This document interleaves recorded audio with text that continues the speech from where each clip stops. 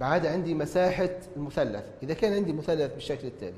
نفس المثلث تو بس شنو؟ أسقطنا عمود من جيم على ألف باء سميناها عين مثلا. هتجد مساحة المثلث. ألف باء جيم يا إما نقول نص في سين في صاد. ها نجي نفطن هذا ضلع سين وهذا ضلع صاد. استخدمت الضلعين هذين شنو الزاوية محصورة بين سين وصاد؟ جيم في جاء الزاوية محصورة بينهما جيم. لو أنا نبي نستخدم مثلا هذين اثنين ونقول شنو؟ نص في صاد في عين في جاء الزاوية بينهن ألف أو نقدر نقول شنو؟ نص في سين في عين. سين في عين. شنو الزاوية محصورة بينهن؟ باء في جاء باء تمام؟ يعني مساحة المثلث نقدر نعرفها بواحد من القوانين هذين. ملاحظة مساحة المثلث أمتى نستخدمها أطوال أضلاع الثلاثة يعني زي قاعدة الجيب. زي قاعدة جيب التمام ضلعين وزاوية محصورة. زي جيب التمام ضلعين وزاوية ليست محصورة سواء نفس الجيب. تمام. في الحالات هذين الثلاثة. استخدم فيها يمكن إيجاد مساحة المثلث. نشوف مثال. قال لي حدد إذا أمكن استخدام قاعدة الجيب بجيب هنا. بالشور جيب تمام. أم لا؟ قال لك حل. لا ما قال لي حل جيب شيء. قال لي هل نقدر نجيب الجيب ولا لا؟ في المثلثين هذين هل نستطيع هنا نجيب قاعدة الجيب شنو أعطاني زاويتين وضلعين تمام؟ نقدر ولا نقدر. شنو الشرط المتوفر زاويتين وضلع عندي معلومة هو؟ هذا ضلع معلوم وهذين زاويتين. قلنا لما يجد عندي زاويتين وضلع نقدر نجيب الضلع الآخر صح؟ نقدر نديرها. بهنا شن قال لي؟ عندي معلوم عندي هنا شنو؟ ضلعين وزاوية شنو؟ محصورة بينهما. نقدر نجيب الجيب ولا لا؟ زاوية شن قلنا الجيب؟ زاوية شن تكون؟ ليست محصورة بينهما. بينما هذا ضلع معلوم. هذا ضلع معلوم. وهذه زاوية محصورة بينهم ما نقدرش. لازم يكون ضلعين وزاوية غير محصورة. يعني هنا نقدر نستخدم قاعدة جيب التمام. لأن يعني جيب التمام تقول لي ضلعين وزاوية محصورة. شوفوا المثال هنا قال لي شنو؟ أوجد القيمة الغير معلومة للضلع باستخدام قاعدة الجيب شرط عليها قاعدة الجيب أعطاني شنو هنا؟ زاويتين وضلع. نقدر نجيب قاعدة الجيب شنو المطلوب هنا؟ المطلوب هنا إيجاد سين. سين هذه شنو هي؟ أول مرة حددنا أن نحن نقدر نستخدم قاعدة قاعدة الجيب قاعدة الجيب ليش؟ لأنها عندي زاويتين وضلع. ما نقدر نستخدم قاعدة الجيب على حسب الملاحظة اللي درناها. شنو المطلوب؟ هنا سين. ها سين شنو هو؟ سين ضلع. قاعدة الجيب قلنا لما يبي ضلع ما نستخدم الحالة الأولى اللي هي تجد سين فوق. يعني الأضلاع فوق وجهاز زاوية لوطة. ما نستخدم شنو؟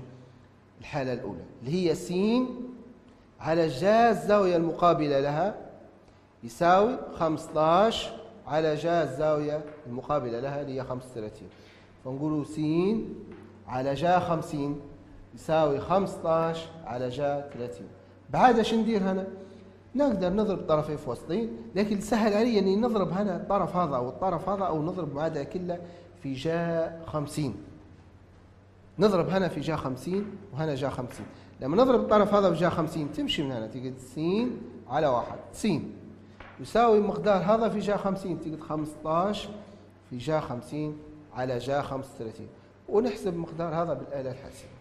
حتجد س يساوي 20 ملي لأن هذه بالملي واضح الكلام هذا؟ سهل إن شاء الله. نشوف المثال الآخر. في المثلث التالي أعطاني مثلث أوجد قيمة الزاوية ثيتا باستخدام قاعدة الجيب يعني هنا شرط علي قاعدة الجيب أوجد قيمة الزاوية.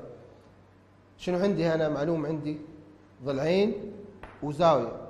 نقدر نستخدم هذين هنا ضلعين وزاوية ليست محصورة بينهما صح؟ ضلعين وزاوية ليست محصورة بينهما. بيش ندير شنو مطلوب هنا؟ هنا زاوية مطلوبة. آه زاوية. ما نستخدم أي حالة.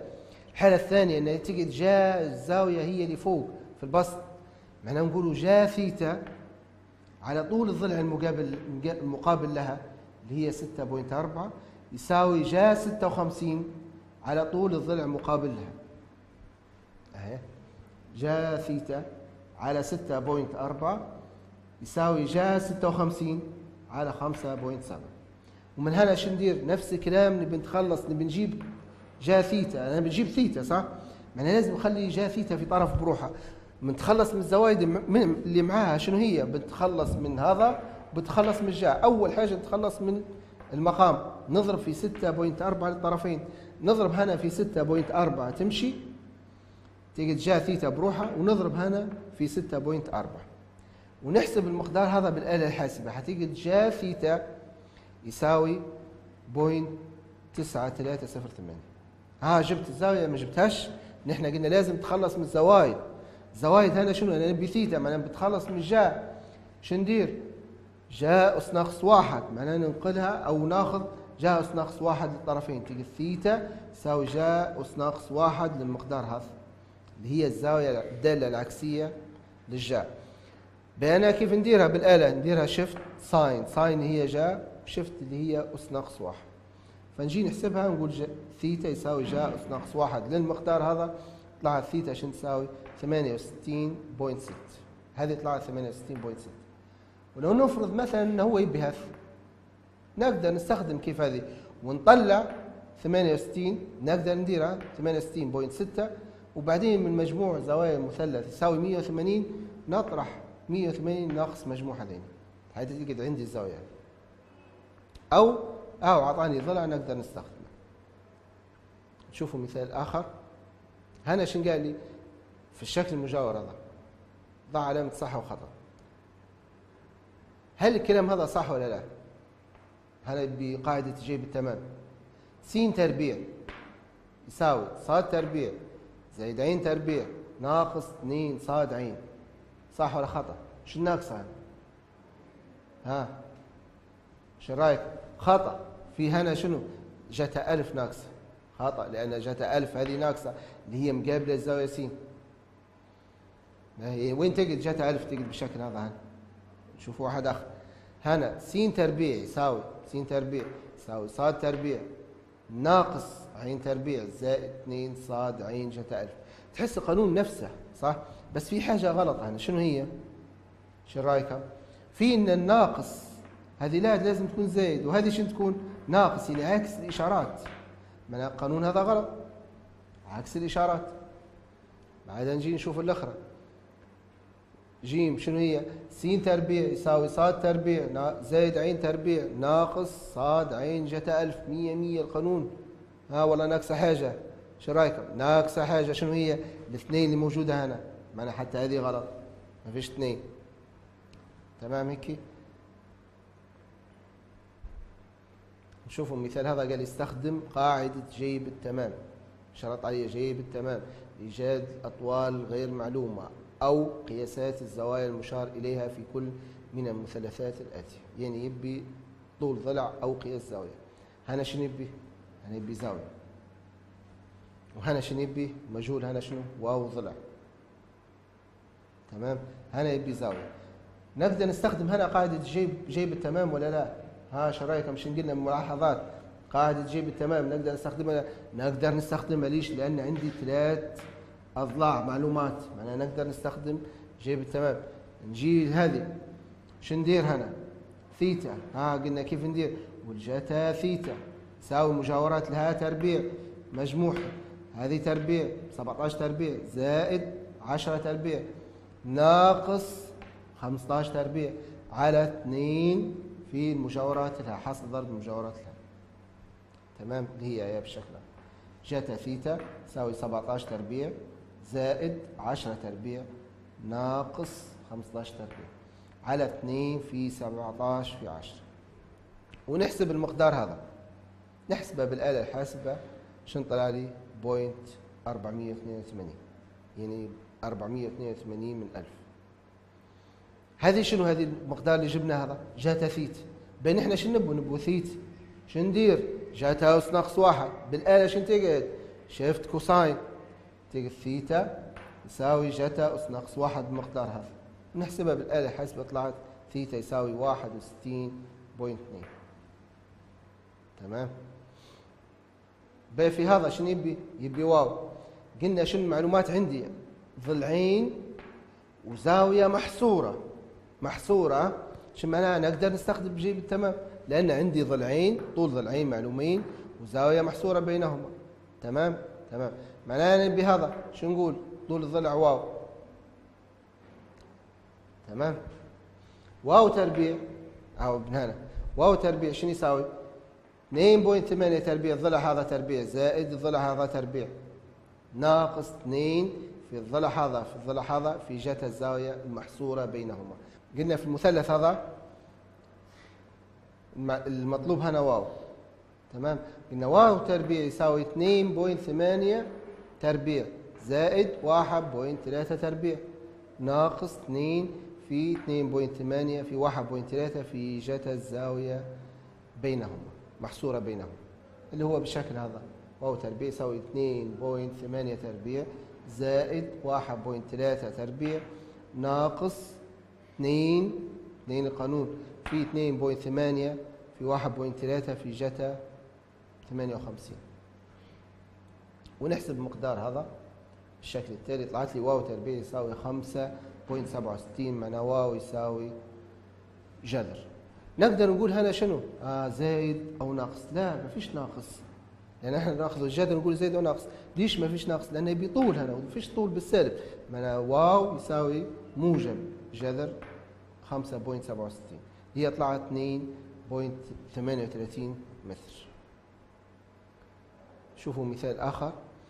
أوجد مساحة المثلث مساحة ألف باجي. وأعطاني الأضلاع هذين هل نقدر نستخدم مساحة هنا؟ نقدر نستخدم مساحة شنو؟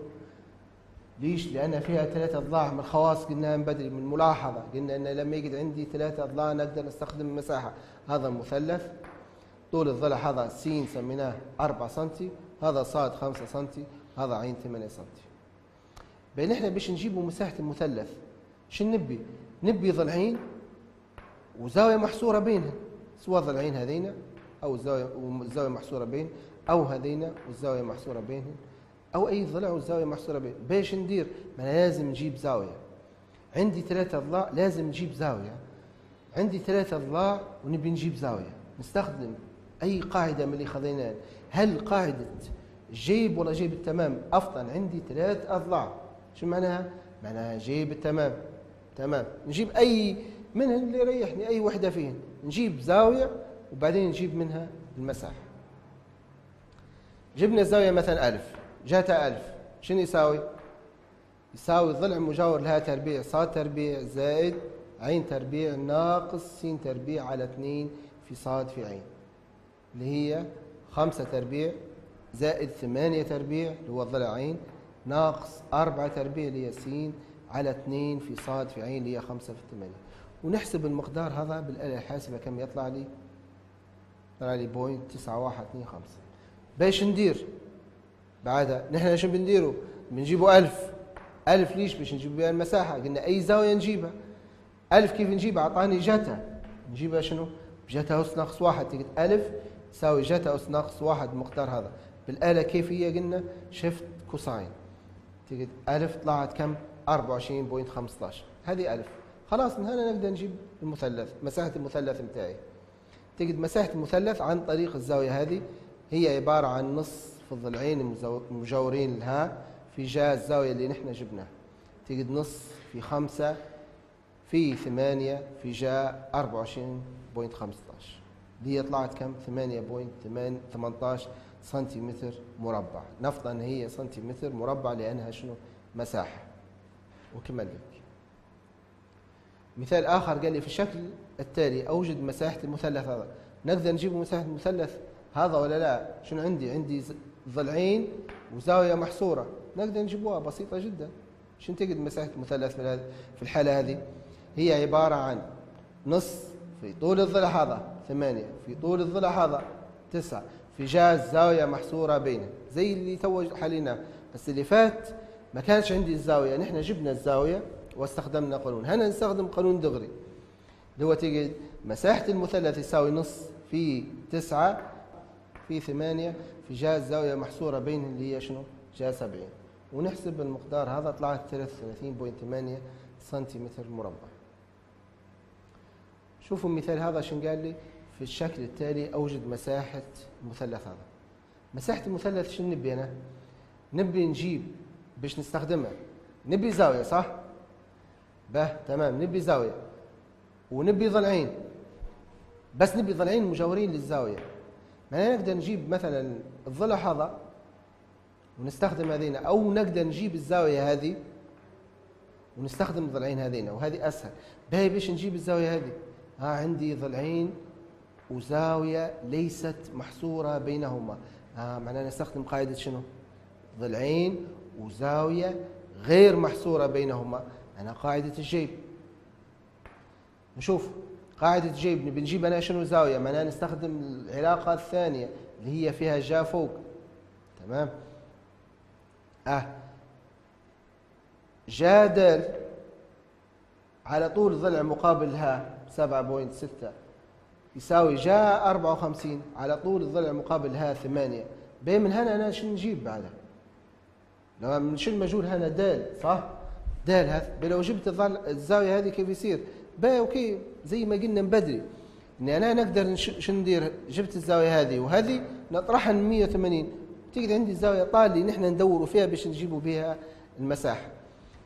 نضرب هنا قلنا في 7.6 للطرفين. حتيجي جا دال يساوي المقدار هذا ومنها جا دال نحسب هذه بالآلة الحاسبة طلعت هالعدد. معناها دال شنو تقعد؟ جاء أس ناقص واحد للكمية هذه. تمام؟ اللي هي شفت ساين تقعد دال يساوي 50.2 قربناها خليناها 50 معناها شنو؟ جبنا هذه الزاوية هذه طلعت لي كم؟ 50 يعني نقدر نجيب من مجموع زوايا المثلث 180 نقول 180 ناقص 54 زائد 50 أهي. طلعت لي شنو؟ 180 ناقص 54 زائد 50 اللي هي طلع لي كم؟ 76 جبنا الزاوية هذه معناها نقدر نجيب المساحة خلاص. كيف نجيبها؟ نقول مساحة المثلث. أفضل عندي الزاوية هذه طاعة وهي ثمانية نص نص. في ثمانية في سبعة point ست الضلعين هذين في جا الزاوية المجاورة هنا نص. في سبعة point ستة في ثمانية في جا ستة وسبعين. وطلع لي شنو؟ تسعة وعشرين point خمسة سنتيمتر مربع. وبهذا القدر نكتفي اليوم إن شاء الله إلى أن نلتقي في حصة قادمة إن شاء الله.